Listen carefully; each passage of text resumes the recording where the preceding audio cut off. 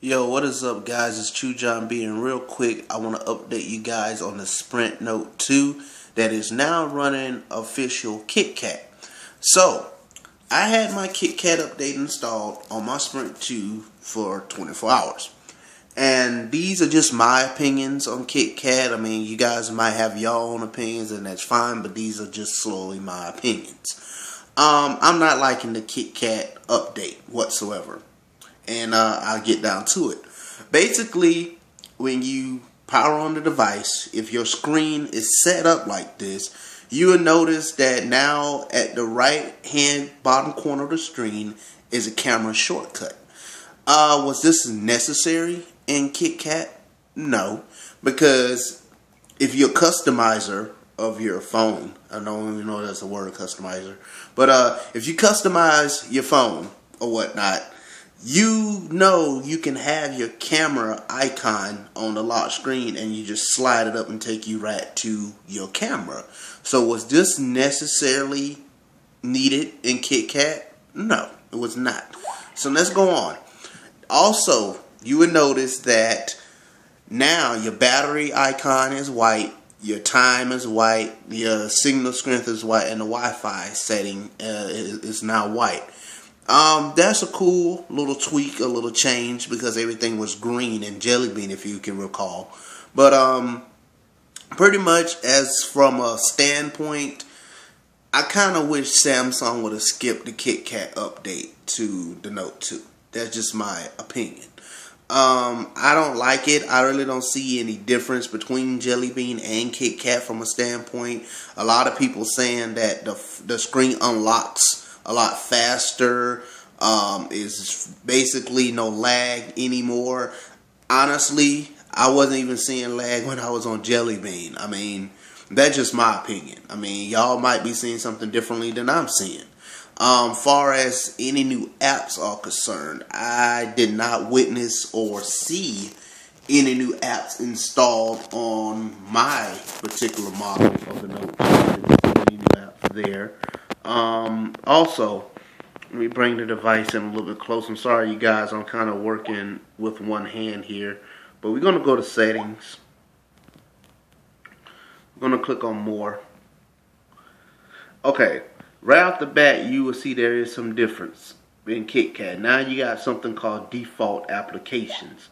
Now, with uh, default applications, you can either have the the regular messaging app that comes with the Note 2 or you can click on it and change it to uh, Hangouts. Now that that's a pretty convenient uh, thing to have uh, as a part of this update. I would say that's convenient for me anyway. Now also, if you're a fan of third-party launchers, so I say if you didn't like uh, TouchWiz. Basically, at the top of this, I can't click on it because I don't have any launchers installed, which I did, but I uninstalled them because I was having trouble with them. But um, you can have third-party launchers that now, instead of you going all the way down and uninstall them through the app, you can actually do it through this process. So it, it is a pretty cool function to have now for default applications because now you can change, you can have different uh, launchers uh, and you can have different messaging apps as well. So that's pretty cool update for that. But other other than that, I'm still not impressed with KitKat. Um, let's go. Let me see. Um, something else that's different. Location. Uh, okay. Yeah, location is also different. It actually gives you a list of apps that want to use the location you're at. And also, to me, I think this is a good thing because it actually probably show you what is eating up your battery, which I which I am correct. It shows you what what app uses the most battery. As you can see, the ones that requested my location, the battery usage is low, which that is good. Now, power saving mode. Now, this is new. Power saving. which is uses the Wi-Fi and mobile networks to estimate your location. That's what I have set. Now, high accuracy, it uses GPS, Wi-Fi, and mobile networks to estimate location. You can tell off the bat, it says high accuracy. That's probably going to eat up a ton of battery life. But me, I'm not really worried about battery life because I'm using a ZeroLemon 9300 milliamp battery, so I'm not too much of worry about battery, all like that with the uh, ZeroLemon attached to it. But um, if you're using a stock battery, then of course you're probably on the receiving end of worrying about going uh, without a charger, leaving home without your charger. So I wouldn't set it on a high accuracy uh, for for that. But um, real quick, I'm going to show you guys that I am running the KitKat update. Bring it in close. There you go, 4.4.2. You're going to click on it. Hold it. And there you have it. Android 4.4.2 KitKat. Now, if I missed anything in this review, please let me know in the comment section below. Uh, I make mistakes. I am human. Sorry about that. Sorry about that.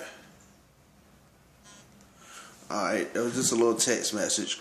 But uh, anyway, if I did miss something in this review, or my opinion review, let me know in the comment section below. Let me know if you having any type of uh, trouble. Wait a minute, I am missing something. I take that back. Okay, now the keyboard and KitKat. Now this is what I do like. Sorry about shaking the camera, you guys. I'm kind of trying to stand this thing with one hand. But in KitKat, what uh, I did notice was the Samsung keyboard got tweaked. And the only thing I tweaked was let me pull it from the screen real quick. Alright, now you see that's the Android uh, Samsung keyboard. If you hold it down, hit that, we now have emojis. So that's pretty cool because in the past, if you wanted to have emojis on an Android device in particular, you have to download the third party keyboards from the uh, Google Play Store. So now you don't have to worry about that anymore if your phone is running KitKat. If your phone does not have KitKat, then of course you're still probably using third-party emoji keyboards, and a lot of them are trash. Just to let you know, a lot of them are pretty much trash. So that's pretty cool. Um, recently though, I've been experiencing some mad foreclosure uh, with the Samsung keyboard. Every time I would use it, a two second or three seconds later, comes up and said the Samsung keyboard unfortunately has forced closed. Why is that happening? I'm not sure. Maybe you guys can help me out in the comments below if y'all are experiencing that problem. Um, I tried to reset the device, pull the battery numerous of times, and it's not helping. So maybe you guys can let me know a tweak for that. But uh, other than that, I'm not experiencing any other glitches or anything with the KitKat update. Um, I'm just not liking it. I mean, that's just me. I played around with uh, other devices that had the KitKat update, and I think the reason why I like the other devices with KitKat because maybe um, the skins that were laid on top of KitKat, like LG, LG had an awesome skin laid on top of uh, KitKat that made it look awesome. I mean, awesome. Uh, TouchWiz needs to be updated a lot to, to make it stand out. I mean, I'm not going to diss TouchWiz, but I kind of wish they would get on the ball and tweak it, make it a little bit better. I mean, with KitKat, the thing I would love to see was fresh new wallpapers, even if it wasn't a lot, but fresh new ones. Um, and we just didn't get it here. Uh, honestly, I think Samsung should have opted out of the Note 2 for KitKat. It's going on to be two years old coming up here soon. Uh, I know the Note 3 is out there with an awesome interface on it. Um, there's been reports on now the Note 4 coming out soon. So, I mean, it's awesome that Samsung is bringing all these devices full front, but honestly, I would have opted out with doing KitKat on the Note 2. That's just my opinion.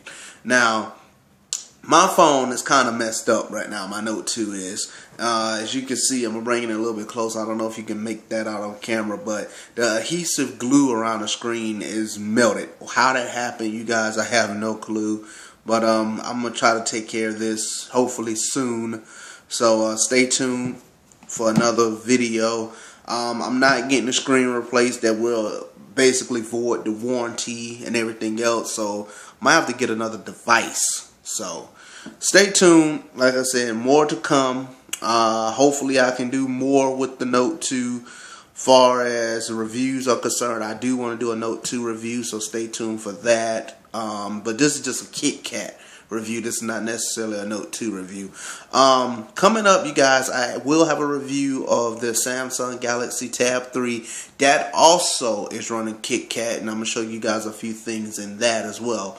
So um, if you like the video, thumbs it up. Um, subscribe to the channel if you're new here. It helps me a ton. Um, share the video, you guys. Let me know in the comments, again, what you think of the KitKat update. Are you having problems with KitKat? And so forth. Again, I'm True John B, and I hope you guys enjoyed this video, and I'll catch you guys in the next one. Peace.